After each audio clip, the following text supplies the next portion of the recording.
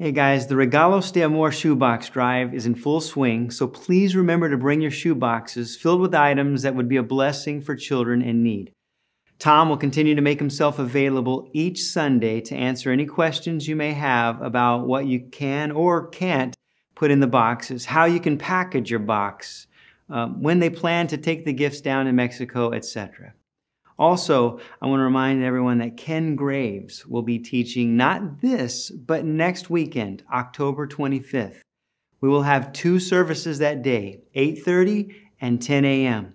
You won't want to miss hearing from the heart of a man who seems so tough on the outside and yet loves Jesus so much. It's going to be a huge blessing. Speaking of blessings, we're blessed to be in a nation that allows us to vote for our leaders.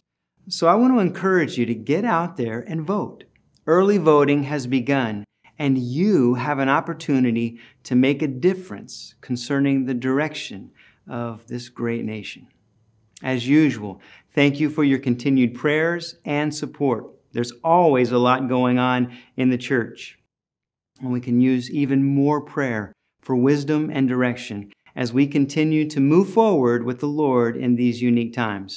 May the Lord bless you and keep you as you seek to follow him with all your heart.